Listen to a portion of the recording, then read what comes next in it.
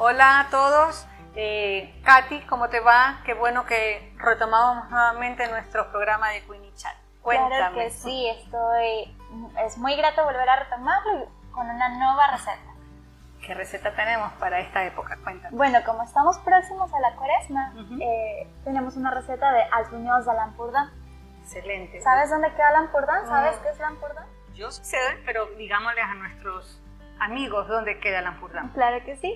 Eh, Lampurdán es una comarca que queda dentro de la provincia de Girona y albuñols son postres, son postres muy típicos de la época de cuaresma, sobre todo en la región de Cataluña. Excelente. Bueno, vamos manos a la obra con los ingredientes. Claro que sí.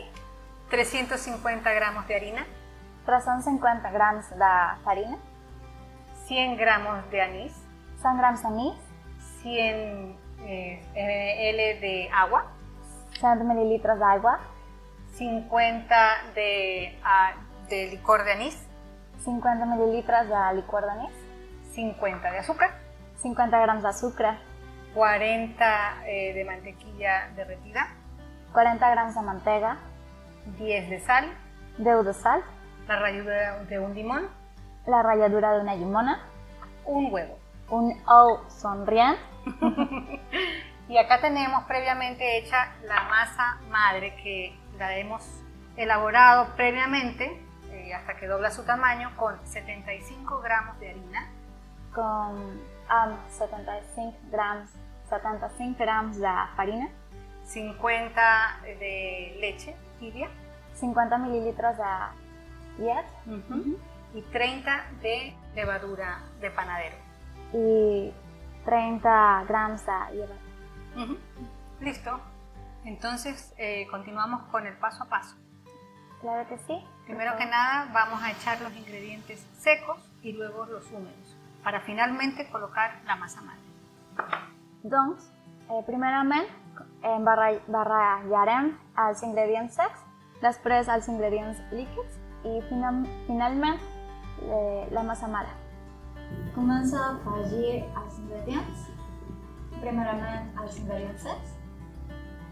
¿Conoces algo sobre el origen de los buñuelos? Bueno, sí, encontré por aquí alguna bibliografía que te la voy a leer. La historia de estas dulzuras se remontan a los romanos, quienes le decían puñuelos, ya que la masa se preparaba con los nudillos de los puños. Durante el siglo XVI, en España, se encontraban los árabes y lo que más disfrutaban comer eran los buñuelos de agua miel, una masa que se freía en aceite y posteriormente se le añadía miel hirviendo. Este postre lo comían aquellas personas que tenían puestos de vendedores ambulantes o de posición económica baja. Mira tú. Qué interesante saber que quedó como una tradición para cuaresma. Así es. Bueno, en algunas partes lo comen también en diciembre, ¿no? Comienzan, comienzan, eh, hacen, hay una variedad de buñuelos, los hacen rellenos, los hacen planos, los hacen redondos. Este que vamos a hacer nosotros es más como una, como una dona. Ya, ya van a ver.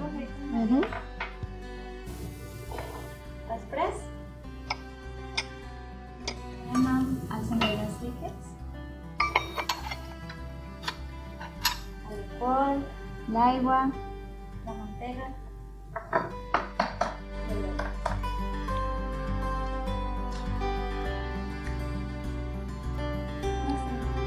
Mira, pues.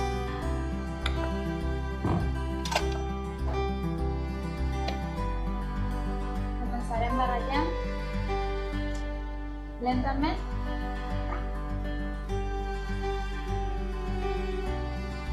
¿Me ayudas por favor con una espátula?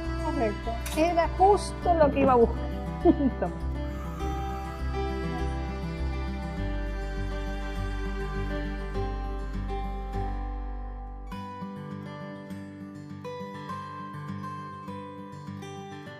Finalment, Finalment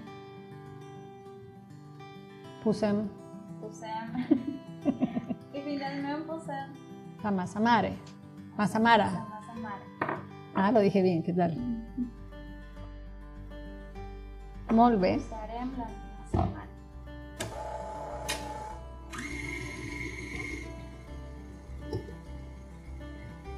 Vamos a sacar la masa, la vamos a dejar acá en el mesón. Eh, vamos a poner un poquito, a aceitar un poquito y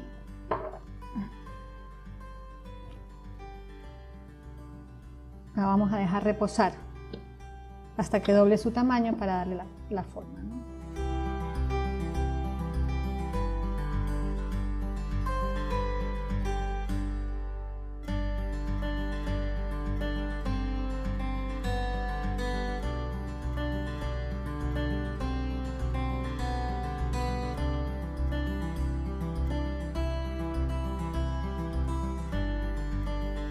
Entonces vamos a taparlo para que Nos dejamos reposar por... Ajá. Hasta que doble su tamaño. Ok. Todo depende del clima en el que vivas, pero más o menos serán unos 40 minutos, una hora acá. ¿Listo? Claro que sí. Veamos, Katy, cómo, cómo están nuestras masas. Mira nada más. Ya duplicaron su tamaño. Ha crecido bastante. Entonces, ahora sí podemos darle forma de donuts. Ajá, correcto. Como... Previamente hemos puesto el aceite a calentar. Claro que Ujú. sí.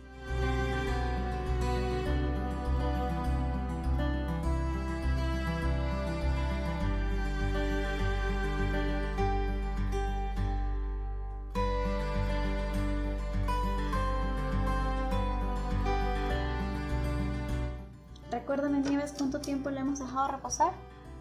Bueno, aproximadamente 40 minutos.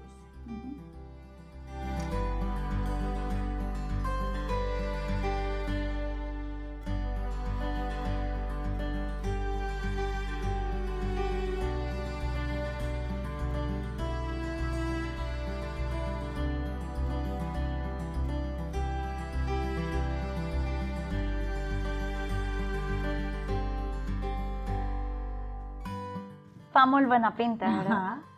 Correcta. Ahora probarla. Vamos a ver.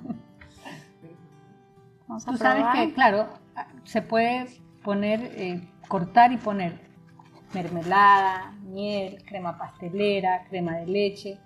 Lo comes. Bueno, hay que dejarlo enfriar, ¿no? Mira nada más que rico. Qué deli.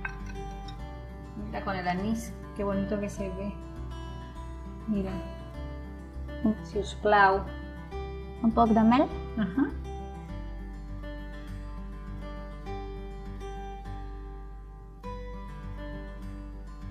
Muéranse de envidia. A ver. Con un cafecito. Merci, si us plau. Perfecto. Bueno, esto realmente se come en carretilla y luego pues ya las pastelerías la venden en los cafés, en los restaurantes, me Mm. en los restaurantes, pero pare- parece más producto de pastelería, ¿no? ¿Qué tal? Súper rico y muy fácil de cuinar. La voy a probar yo, a ver. Mm. El anís le da un toque espectacular. Y se siente bastante, sí. Katy, cuéntame, ¿y esta salsa de qué se trata? Fíjate, nada más. Una rica salsa de vino de Porto acompañada con los puñuelos. ¿Y de dónde es esa salsa? ¿Quién la hace? De las manos.